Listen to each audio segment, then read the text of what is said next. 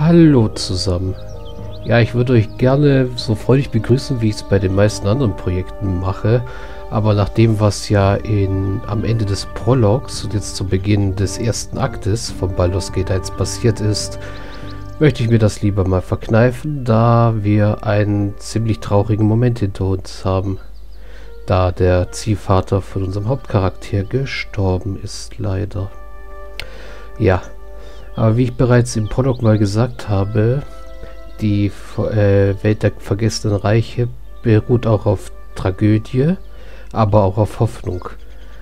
Unser Ziehvater ist zwar gestorben, und das macht uns schon ziemlich zu schaffen, aber andererseits stehen wir jetzt mitten im Nirgendwo, haben zum Glück Imoin an unserer Seite und müssen gucken, wie wir weiterkommen.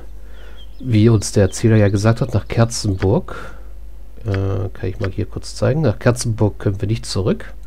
Da werden sie uns nicht einlassen. Aber wir können in den freundlichen Arm. Da Gorion uns gesagt hat, dass wir dort Freunde finden können. Doch abgesehen von unserer großen Übersichtskarte hier, auf der nicht, noch nicht viel verzeichnet ist, äh, sind wir ziemlich orientierungslos. Das heißt, wir müssen uns erst einmal in dem Gebiet umsehen, gucken, dass wir wieder hier hochkommen zu Gorions Leichnam und den beerdigen. Das sind, das sind wir ihm schuldig. Und ja, dann gucken wir uns hier erst einmal um. Wir könnten natürlich der Straße folgen, aber ob die Straße so sicher ist? Erst einmal orientieren wir uns nach Beinahe Süden. Unter meiner Würde. Ja. Okay, im Süden sehen wir ein großes Waldgebiet und dazwischen können wir ein seltsames Gebäude entdecken das schon als die hohe Hecke hier betitelt wird. Darüber haben wir in Kerzenburg gehört. Das ist ja nicht sehr weit weg. Aber Gut. wer genau dort lebt, haben wir jetzt nicht aufgeschnappt. Da können wir uns ja in der nahen Stadt Berigost, wenn wir dorthin kommen sollten, mal umhören. Jetzt wollen wir aber erst einmal zurück zu Gorion. Vorher gucken wir mal kurz das Inventar durch. Also wir haben viele Heiltränke, ein Stelligkeitsöl, können wir beides gebrauchen. Imoen hat Heiltrank und ein Stab der Geschosse. Der ist nützlich, wenn wir auf einen Zauberer stoßen, um den zu unterbrechen. Jetzt haben wir aber erstmal unseren ersten richtigen Gegner gefunden, einen kranken Kreisschling. Ja, unser erster richtiger Gegner hat gerade das Zeitliche gesegnet. Gut.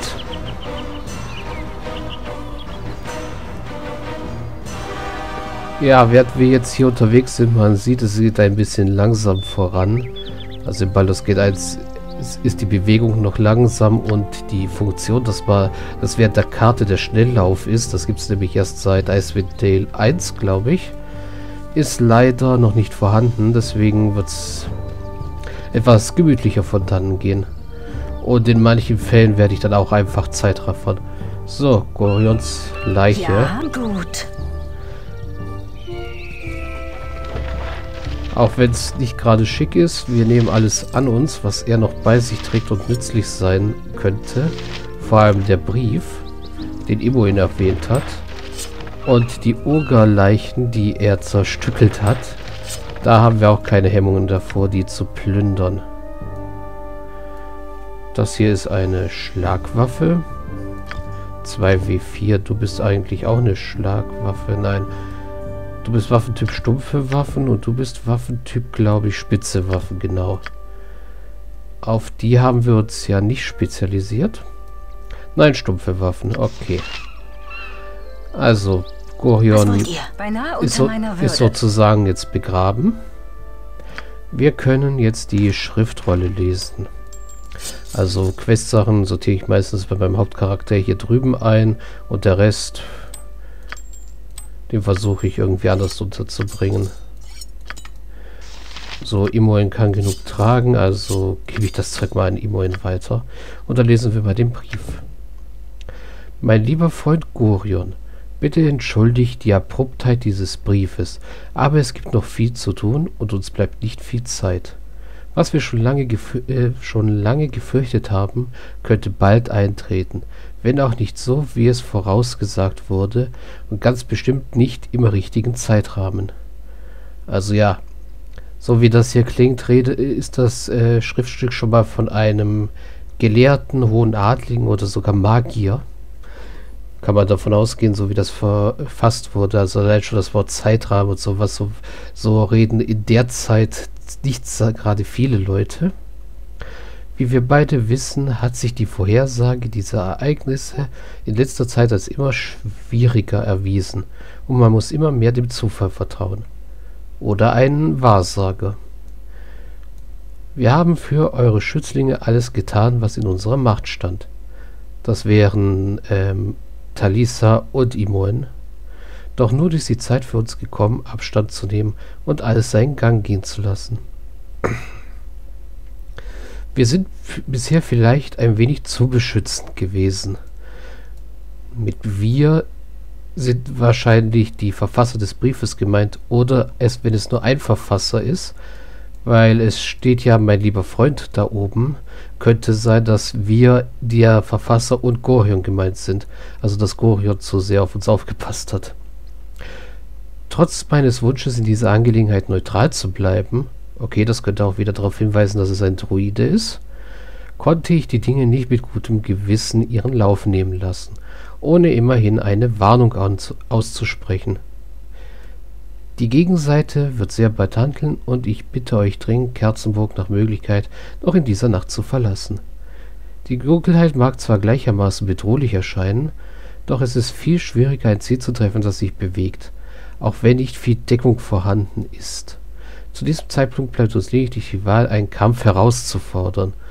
Ja, wohin das geführt hat, haben wir ja gemerkt.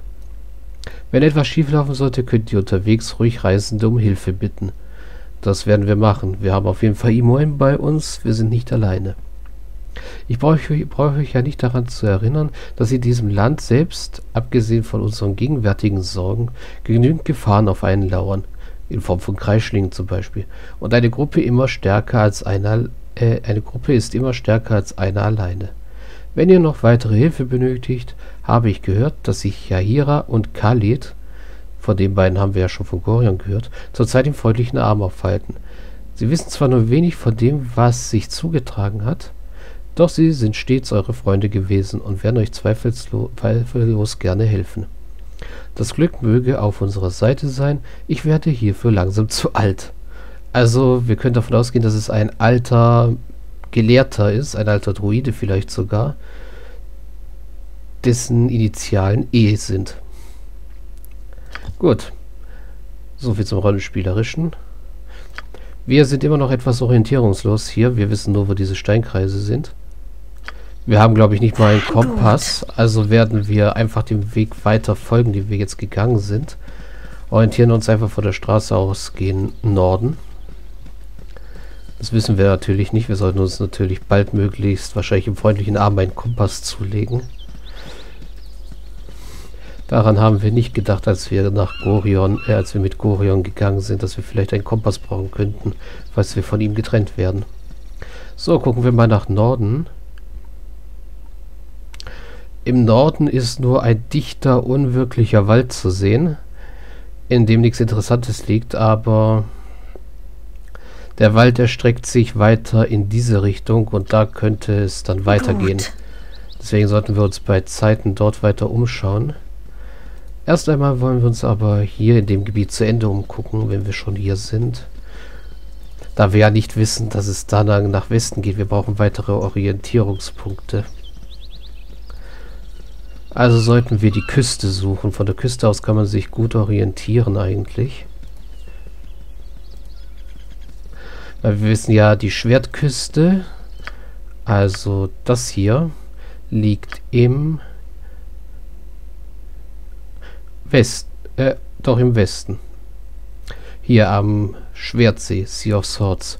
Das hier ist übrigens durch die sogenannte ähm, Widescreen-Mod hinzugekommen, diese hübsche Rahmen mit der Karte drumherum.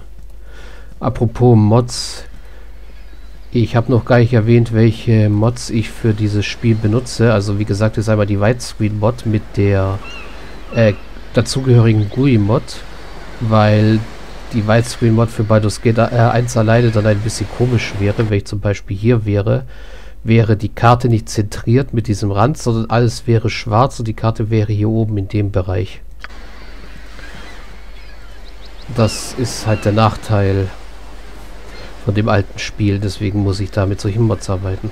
Das zweite, was ich habe, ist ein Tweak drin, der dafür sorgt, dass ich ähm, bei einem Stufenaufstieg volle Lebenspunkte bekomme. Also, äh, besser gesagt, ich erkläre das mal kurz. Ich habe im Augenblick 13 Lebenspunkte. Bei jedem Stufenaufstieg wird ausgewürfelt, wie viele Lebenspunkte ich bekomme.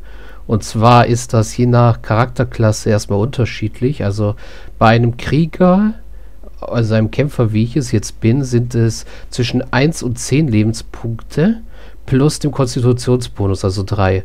Also kann ich 4 bis 13 Trefferpunkte pro Stufenaufstieg kriegen. Nachteil, das Blöde ist halt, an diesen zufälligen äh, Trefferpunkten, das kann das Spiel unnötig lästig oder schwierig machen. Wenn man einfach jetzt die Trefferpunkte hinnehmen würde, wie sie kommen, äh, könnte es passieren, dass man ständig die minimale Anzahl würfelt und dann halt gar keine Lebenspunkte hat und ständig äh, abkratzt. Man kann aber auch das Quick Save Quick Load Verfahren benutzen und eben so lange würfeln, bis man die maximalen Trefferpunkte hat was aber auch nicht so toll ist. Das gab es ja in Baldur's Gate 2 dann eine Option, die das Ganze ausstellt. Also einen zusätzlichen Schwierigkeitsgrad. Ja, diesen Tweak habe ich halt aktiviert. Das heißt, ich kriege auf jeden Fall meine 13 Trefferpunkte pro Level ab. Nachher, wenn ich auf Kleriker umgesattelt habe, sind es dann halt nur noch 10. Weil ich glaube, Kleriker haben einen Grundwürfel von 8 und kriegen dann nochmal, äh, und dann kriege ich halt nochmal durch meine Konstitution einen Bonus von 2, also kriege ich 10. Oder haben Kleriker nur 6? Ich weiß es gerade nicht. Ihr könnt es mir ja in den Kommentaren schreiben. Ja. Bevor ich was Falsches behaupte. Und die letzte Mod. Ne, das war eigentlich alles, was ich installiert habe. Was ich eigentlich noch installieren wollte, war das Unfinished Business. Also die Sachen, die zur ähm, Release-Zeit nicht fertiggestellt wurden und dadurch aus dem Spiel geflogen sind, die haben Entwickler sozusagen, die Entwickler sozusagen privat ähm, doch noch fertig gemacht und als Unfinished Business Pack hinzugefügt. Das Problem war, ich habe an das Unfinished Business Pack erst gedacht, als wir... Was wollt ihr? Oh, ich mach mal kurz Pause, weil der Bär so aggressiv werden könnte, wenn er zu nahe kommt. Das Unfinished Business Pack kann man nicht nachträglich installieren. Also ich hätte noch mal ganz von vorne anfangen müssen und von meinem Vorschauvideo, von meinem Charaktererstellungsvideo wisst ihr ja, wie äh, schwierig das war. Das wollte ich mir halt nicht nochmal antun. Deswegen habe ich jetzt die ähm, den Kompromiss draus gezogen. Ich wollte Baldur's Gate eh zweimal durchspielen. Einmal als guter Kämpferkleriker und dann als entweder neutraler oder böser Barde. Vielleicht eher neutral. Weil böse kann ich nicht so gut sein, gebe ich zu. Aber ja. Genau. Ähm, und wenn ich dann den Baden anfange, oder die Bardin, mal sehen, dann wird Unfinished Business Pack. Dann können wir zusammen auch mal gucken, was das Unfinished Business Pack so alles Neues hat. Also ich werde, wenn es mir auffällt, darauf hinweisen. Und ihr könnt es selber sehen, so habt ihr auch einen direkten Vergleich. Und so ziehe ich das auch bei Baldur's Gate 2 durch. Also Talisa ohne Unfinished Business, meine Barden mit Unfinished Business. Gut, Mund, äh, Mund trocken gepappelt. Jetzt wollen wir weitermachen. Hier haben wir einen Adligen namens Chase. Was? Mit dem reden wir mal. Freut mich, so eine nette kulturelle Bekanntschaft zu machen. Hallo, hm. Ich wollte euch gerade verbieten, noch näher zu kommen. Aber das funktioniert ja wohl nie, stimmt's? Trotzdem werde ich mich angemessen verhalten. Kommt nicht näher, sonst springe ich. ja, ihr habt richtig gehört, ich springe wirklich. Also nochmal, nicht näher kommen und versucht nicht, mich aufzuhalten. Okay, der hier hat von Selbstmord keine Ahnung. Sieht aus wie ein Adeliger, will Selbstmord begehen. Und ja. Aber ganz toll geht er gerade nicht vor. Wir können sagen, gut, also spring ruhig. Nein, bei allen Göttern tut sowas nicht. Es gibt vieles, für was es sich zu leben lohnt. Oder wir können ihn auch noch dazu ermutigen. Äh, wir sagen... Also hier ähm, großartig betteln tun wir nicht. Wir sind selber gerade noch im Schockmoment, also sagen wir gut, springt einfach.